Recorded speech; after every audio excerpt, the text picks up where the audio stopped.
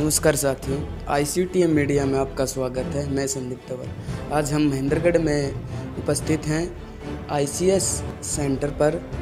यहाँ पर हम जो यहाँ के संचालक हैं, उनसे हम पूछताछ करेंगे कि जो अब यहाँ बच्चे शिक्षा ग्रहण कर रहे हैं किस प्रकार की शिक्षा ग्रहण दी जाती है और कि लगभग कितने दिन हो गए सेंटर को।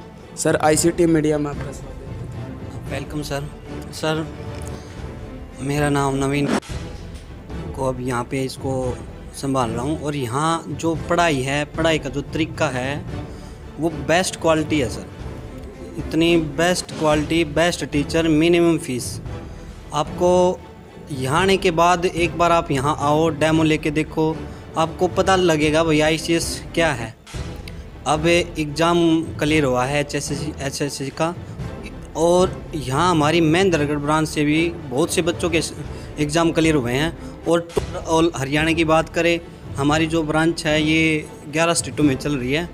हज़ारों की संख्या बच्चों के अभी एग्ज़ाम पास हुए हैं।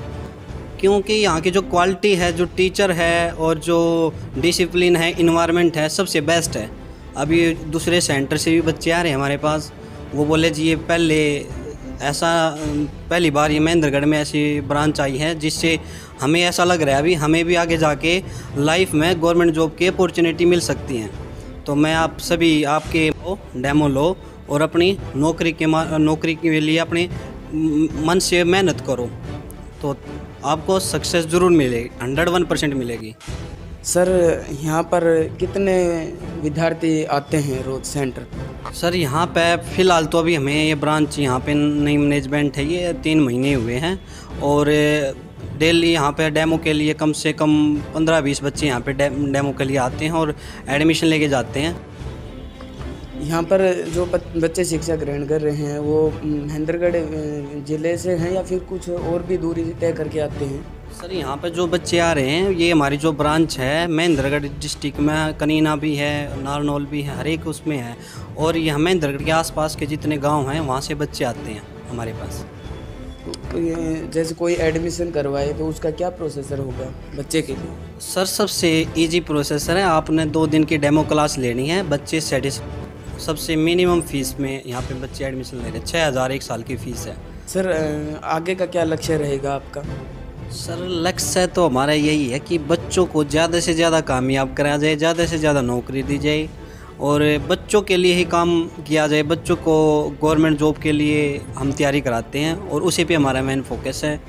फैसिलिटी अच्छी है, टीचर्स अच्छे हैं स्टाफ अच्छा है, सारा कुछ बहुत ही अच्छा मेंटेन किया हुआ है और आगे चल के भी अभी नए साल में हम, सबसे पहले तो मैं नए साल की सभी और आगे जो नया साल आएगा, उसके लिए भी मैं चाहता हूँ कि ज़्यादा से ज़्यादा सिलेक्शन हो। क्योंकि अभी 2019 की शुरुआत भी टॉपर्स के साथ और 2019 का एंड भी टॉपर्स के साथ। मेरे लिए इससे खुशी की बात क्या हो सकती है? मन ही मन में बहुत ही खुशी होती है जब बच्चे हमारे पास आते हैं, सर, मेरा भी सिलेक्शन हो गया, मेरा भी हो गया। तो बहुत ही अच्छा लगता है, सर, बहुत अच्छा लगता है। महेंद्रगढ़ में ये आईसीएस सेंटर बस स्टैंड के पास है। सेंटर पर बहुत सी सुविधाएँ उपलब्ध हैं। तो आप सभी को जिस भी, जिसको भी पढ़ाई के क्षेत्र में आगे पढ़ना हो तो दूर क्यों जाए जब अपने महेंद्रगढ़ ज़िले में ऐसी ब्रांच है, ऐसे संसाधन उपलब्ध हो रहे हैं, जहाँ यहाँ शिक्षा अच्छी दी जाती है।